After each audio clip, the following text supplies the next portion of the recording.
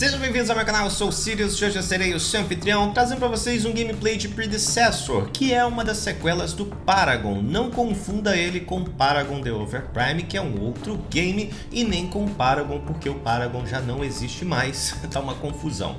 Para quem não tá sabendo, o Paragon acabou e aí ele foi distribuído, o código ficou aberto, várias empresas pegaram para fazer, e a Omeda Studios está desenvolvendo um game chamado Predecessor, que é este game aqui. Ele entrou em Early Access, o Early Access é pago para quem quiser jogar, tá R$18,00 na Epic, na Steam tá um pouco mais caro e a gente vai testar ele aqui agora. Ele não tem servidor SA e ele não tá traduzido em PTBR, o que chateia bastante parte da comunidade. Mas eu acho que a gameplay do jogo tá bem legal, então nesse vídeo a gente vai ver esse aspecto e aí eu comento durante a gameplay o que que tá legal, o que que não tá legal e no final do vídeo eu falo se vale a pena você pegar para jogar ou se o Paragon The Overprime vai ser melhor, qual dos dois é melhor. Predecessor ou Paragon The Overprime. Não esquece de deixar o like nesse vídeo, se inscrever para mais conteúdos, a gente se vê lá no gameplay. Bem, só uma observação aqui. Aqui tá PTBR, mas enfim, o jogo não tá em PTBR, tá? Não adianta, tá aqui PTBR para usar, mas não tem PTBR no jogo ainda. E também não tem o servidor SA, como eu falei para vocês. Tivemos aqui um update nas regiões, mas não tem região SA, só tem região da Ásia e, enfim, NA East, NA West, tem Ásia, Europa, eles infelizmente não gostam da América do Sul. Bora lá então, essa daqui é a tela onde a gente seleciona a rota que a gente vai jogar. Tem a offlane, que seria a solo, a jungler, mid, carry e suporte que ficam na dual lane. E aí logo depois dessa tela aqui, tem a tela de seleção de personagens. O jogo conta com apenas 20 personagens no momento e futuramente eles vão adicionando novos personagens. Só que aqui no momento tem menos personagens que o Paragon The Overprime, só título de comparação. No Paragon The Overprime você tem muito mais personagens do que tem aqui. Tem alguns personagens que lá não tem, como esse atirador aqui, o Drongo, mas no Paragon The Overprime tem mais personagens. Deixa eu ver com o que, que eu vou aqui. Não sei se eu vou de Sevarog. Bora, a partida vai começar. Tem uma coisa diferente nesse daqui, pro Paragon The Overprime, é que aqui no começo você inicia... Antes de iniciar, você seleciona esse starter aqui que você pode fazer, né? Então nós temos aqui alguns itens e aí você coloca de acordo com aquilo que funciona melhor para o seu personagem. Eu acho que eu vou para isso daqui, hein? Eu vou para isso daqui. E aí temos, de fato, os itens que a gente compra. Vou pegar esse daqui também. E vou para minha habilidade. Todo o resto funciona da mesma forma. Eu vou para offlane, que é a lane onde tem o um buffzinho verde. E vocês já podem ver de cara que graficamente o jogo está muito bonito. Está maravilhoso, está incrível demais, sabe? A física do jogo foi arrumada, tá um pouco diferente do Paragon The Overprime. Os gráficos também estão incríveis e maravilhosos. Temos aqui também slots para itens ativos, coisa que não tem lá no Paragon The Overprime, não sabemos se eles vão adicionar. E temos esse HUDzinho aí um pouquinho diferente, né?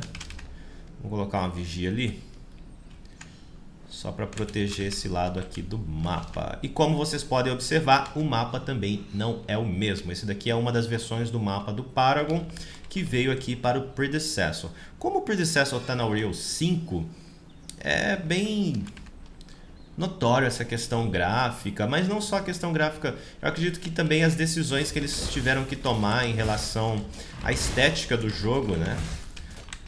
O jogo está graficamente mais colorido, mais agradável. O Paragon ele tá um pouco mais apagado, um pouco mais escuro. Então você tem essa diferença. Cadê meu adversário? Eu acho que alguém não entendeu qual lane que deveria estar, porque ele tá lá do outro lado do mapa. Então eu vou farmando aqui, bonitinho. Eu acho que ele não entendeu muito bem. Além dessas diferenças, a gente tem a diferença de personagem para personagem. Aqui os balanceamentos são diferentes. Os personagens funcionam da mesma forma praticamente. Alguns lá no Paragon têm um kit de habilidade um pouco diferente. Porém, a gente tem a diferença também na questão de dano, na questão de vida. Cada jogo é um jogo, embora seja o mesmo jogo praticamente, né? Ai, doeu, hein?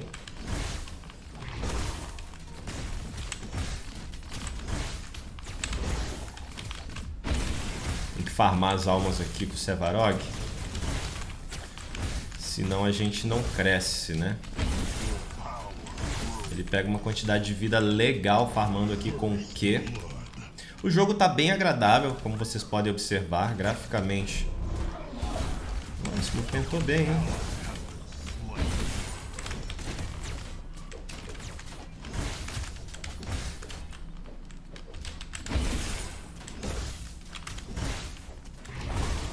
Jogando com um jogo totalmente no máximo em questão de gráficos. A única coisa que não está no máximo aqui são os efeitos, então não está totalmente, né? Porque eu acho que os efeitos às vezes atrapalham bastante. Mas é só por uma questão estética mesmo, questão de visão. Tá, você vai botar no ringue aqui pra quê? Você tá vindo com suporte. Vai jogar na lane. Errei. E tá achando que vai me prender aí nesse ring. Tá achando, né? Tá achando ela. Vamos farmar aqui. Aproveitar que ela tá bem longe. Vamos pegar esse farm aqui. O jogo tá muito agradável. Eu gostaria muito que o Paragon The Overprime fosse este jogo, só que com as características do Paragon The Overprime na questão de quantidade de personagens, a questão da escolha de rotas do mapa, como o mapa é jogado, e tivesse essa estética aqui, porque ele está muito bonito. É muito agradável você entrar e ver essa iluminação, é muito agradável você ver como que a física do jogo, de certa forma, está melhor. Então tem pontos muito positivos nesse jogo e pontos infelizmente negativos, né? Tô jogando com 160 de ping. Você aguenta jogar um jogo com 160 de ping? Às vezes sim, mas quando você tem uma opção desse mesmo jogo, embora seja um pouco diferente, mas ele tá com um ping um pouco melhor, você não vai ficar jogando este jogo aqui com um ping maior, né? E aí é um erro, além de ter o Early Access pago, você tem que pagar para jogar, é um erro da Almeida. E eles vão ter que conviver com esse pequeno probleminha aí, peraí, deixa eu ver aqui. Cheguei, moço. Obrigado. Eles vão ter que conviver com esse pequeno probleminha. Tem alguns itens que você ativa, tem outros itens que você não ativa. Isso vai de item para item. Tem uma pequena corridinha que a gente usa aqui no 4. Que é um blinkzinho, né? Ele tem um símbolo de botinha ali. Você pode usar a cada 300 segundos. Tem uma poção. Achei legal quando você usa a poção, aparece em cima ali que o cara tá usando. Isso é bacana, é uma questão apenas estética, mas muitas vezes também tem uma certa utilidade, né? Ah não, pera aí, o cara usou a poção ali.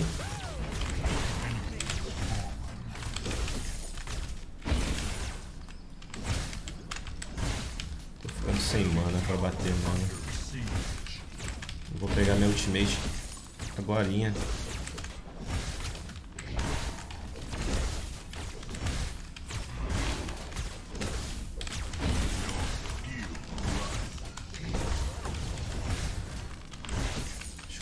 Voltar para a base depois dessa daqui.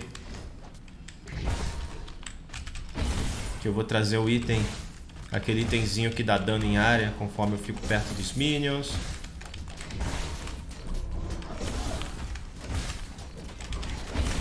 Conforme eu fico perto do meu adversário. Como eu falei para vocês, alguns personagens funcionam de forma bem parecida. Sevarog funciona de forma bem parecida. Alguns outros nem tanto. Murdoch está bem diferente aqui nesse jogo. Lá no Paragon The Overprime ele funciona de uma forma. E aqui ele funciona de uma forma bem diferente. Legal que essa poçãozinha ela vai enchendo conforme você vai voltando para a base. Então, se eu usei ela ali, beleza, voltei para a base, eu tenho de novo mais duas cargas de poção. Isso é legal pra caramba. Eu acho que o HUD do jogo não tá tão ruim quanto as pessoas estão falando, tá? Não tá tão poluído assim. Eu não gosto dessa barra de itens ali, mas eu gosto da barra de itens. Poderia estar de uma forma melhor aqui no canto esquerdo, que eu olho mais pro canto esquerdo ali. Eu acho que não precisaria, a gente vê o nosso frag, a gente vê o nosso gold, o nosso level ali, e os itens estão do outro lado. Mas é uma questão pessoal, né?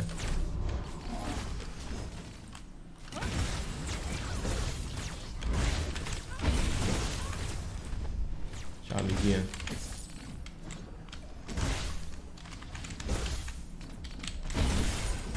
Botar uma pressãozinha nela, que esse personagem aqui tá com bastante dano. Não o meu, ela, tá?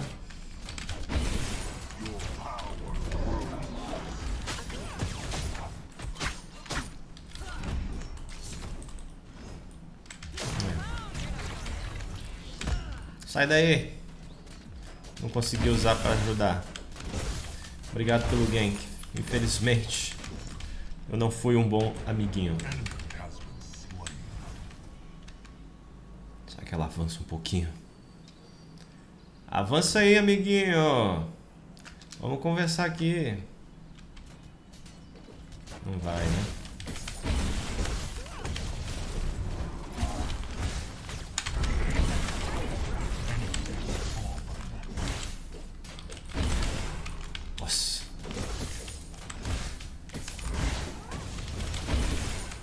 Quase, hein?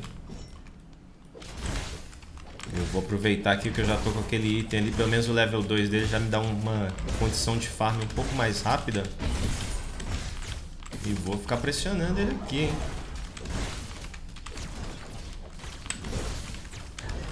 Será que ela me prende embaixo da torre?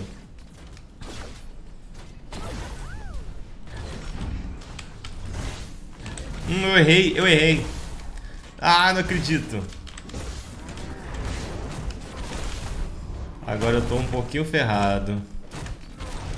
É, eu estou bastante ferrado.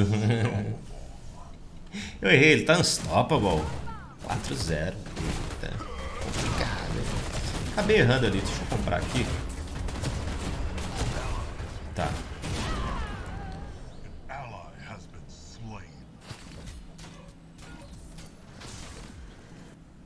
Já vamos nos direcionar pra cá. Pô, fui mal pra caramba ali, né?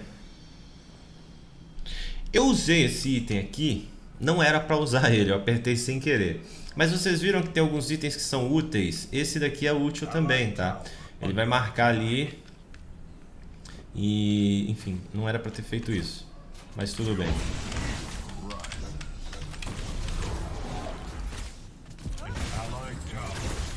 Ah, não prendeu pra nada, né, moça? Me prendeu pra quê? Se não vai fazer nada comigo. Eu vacilei, eu fui muito pra trás da torre do cara.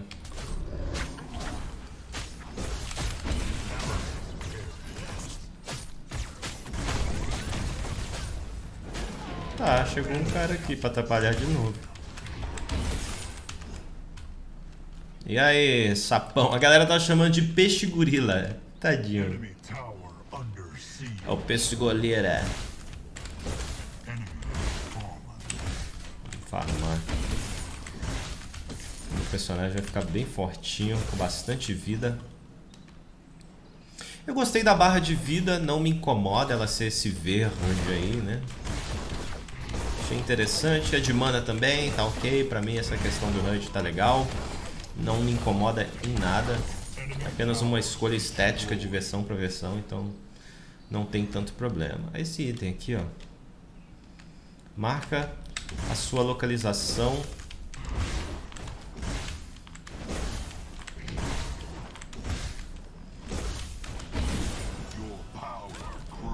Calma, moça. Vou te jogar lá pra cima, vai. Ah, feia. Feia. Não gostei de você, hein? Marca sua localização e, e dá uma ressurreição em 40, com 40% da vida naquele lugar e de mana. Legal.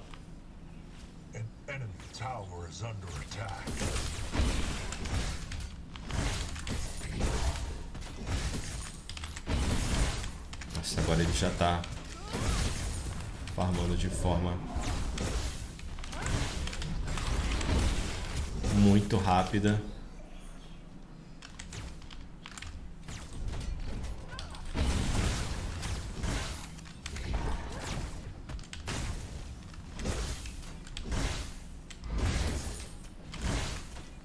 Tá dando um dano bem legal. O cara vai voltar pra base ali e vai perder a torre dele, né? Fazer o quê? Se o jungler dele não vier aqui ajudar...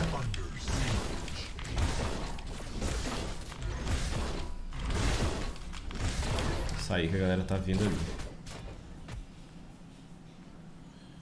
Eu ainda tenho 4 se eu puder sair.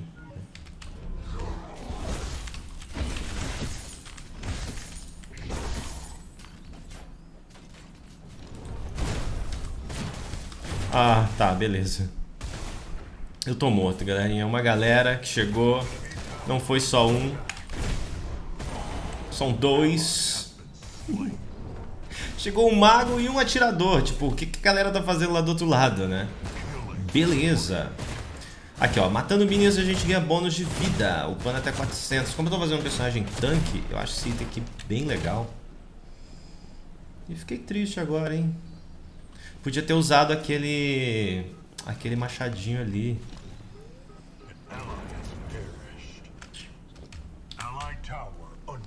Podia ter usado o machadinho. Minha torre vai cair, tem uma galera batendo lá nela. É, destroyed. Uma pena. Tá acontecendo muito, mas eu acho que é porque o jogo ainda tá no começo. Muitas vezes o time adversário vê uma galera assim na sua lane e o seu time fica uma galera na outra lane também. Ainda não tem rolado tantas rotações para teamfight.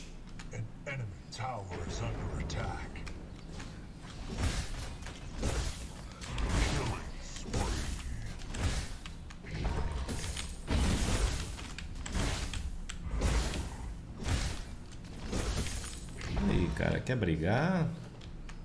Também tô level 10. Vamos ver quem ganha nessa daqui.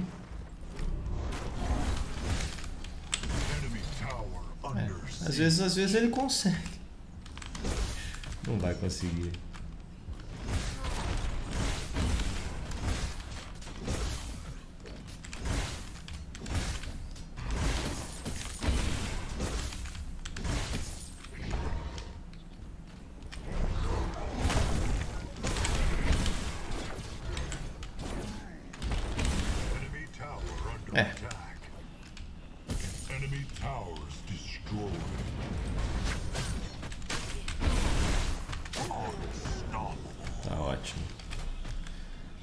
Reclamar, porque o cara do meu time veio aqui me ajudar, pegou o kill, embora eu tivesse condições maravilhosamente incríveis para pegar esse kill aí. Mas, né, fazer o quê?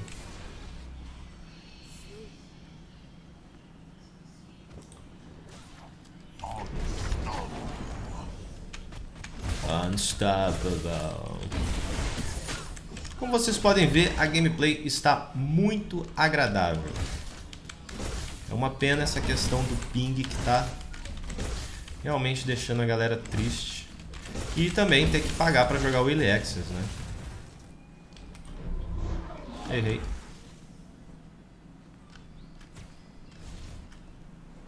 Peguei esse peixe voador. é o peixe voador ou não é? Cara.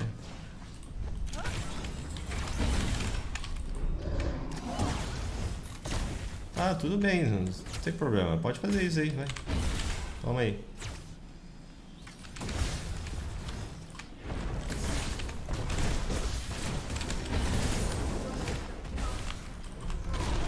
Calma.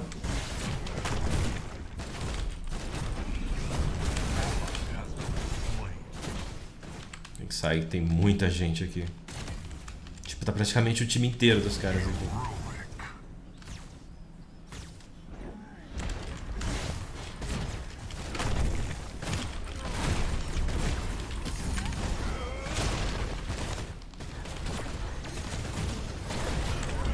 Oh, ele foi pra cima. Cara, nossa, mas... Tá, beleza. A torre tava com pouca vida. Ele foi pra cima. Achei que ele ia ficar Peguei um kill, tá bom. Achei que ele ia ficar, ele foi pra cima, então não deu pra jogar ele lá embaixo, ele só se foi pra cima da torre. A torre também tava caindo, né? Errei.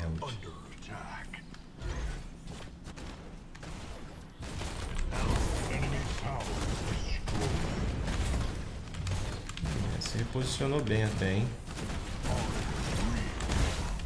O time tá muito bem.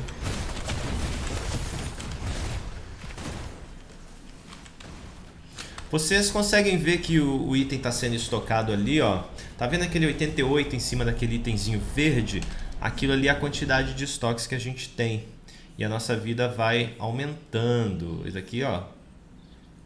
Vou pegar aqui a evolução dele, né? Pra gente ter ainda mais condições. Tá. Eu vou pegar aqui fazendo uma build baseada em vida para ele. Já tô com 2.600 de, é, 2.600 de vida. E eu preciso estocar o Q dele também, né? O Q dele estoca ali. Fica legal pra caramba. aí.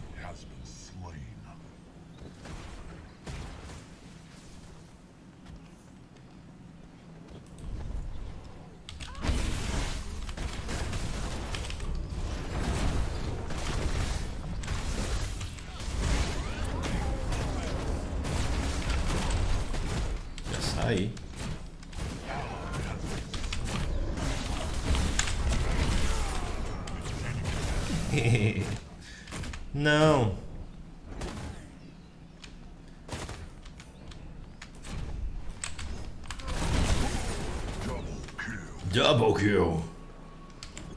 Legal, né? Tá bacana, o gameplay tá legal demais, galerinha. Deixa o like aí se você quiser mais vídeos. E o Sevarok tá evoluindo, né? A evolução dele aqui não é igual no Overprime, no Overprime ele fica muito maior. Essa é uma versão menor dos espinhos, né? Mas ele está evoluindo também.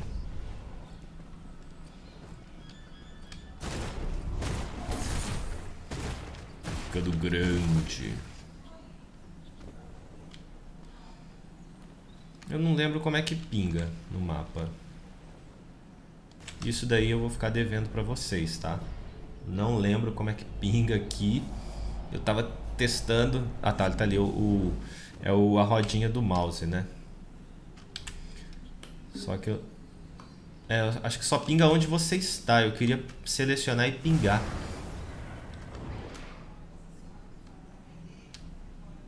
Não tem, né? Ataque. Camps. É. Enemy towers destroyed. Tinha que fazer aqui, ó. Só que a galera vai morrer ali na esquerda. Deixa eu chamar pra cá. Seria mais interessante se você pudesse apertar uma tecla igual é no Smite. A gente segura o Alt no Smite. Aqui não funciona assim. E aí você clica onde você quer, entendeu?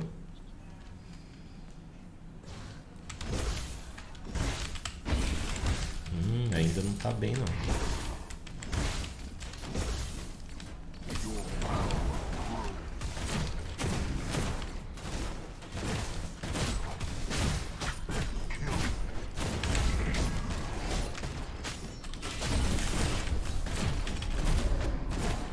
Hum. Enraizado, amiguinho. Olha a vida dele, 2.800 de vida.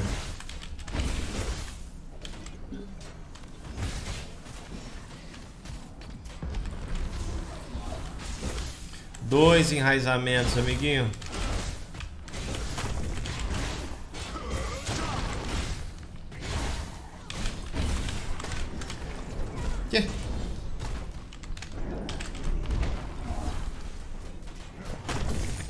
Ele conseguiu fugir, é isso? Pra onde que foi que ele pulou que eu não vi? Tudo bem, Rampage me matou aqui, sem vergonha. Pra onde que ele foi? Eu não consegui enxergar ali, hein? Tô quase, eu quero vir pra cá, ó. Dá uma lentidão na área dos inimigos em 10% e aplica o Attack of Stifle. Daí eu não entendo. A cada 0,5 segundos. Se você atacar com acertar com um ataque básico, você vai reduzir o total da, do ataque speed do inimigo em 3% por 3 segundos, destacando até 5 vezes. É um item bom, né? É um item bom. Só que, se eu não me engano, lá no Paragon, no Paragon antigo, tinha algumas condições, né?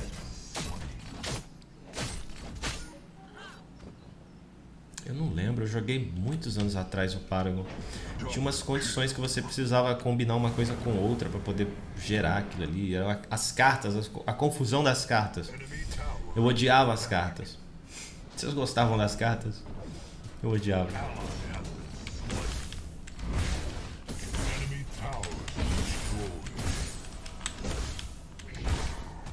Tô level 14 ainda, né?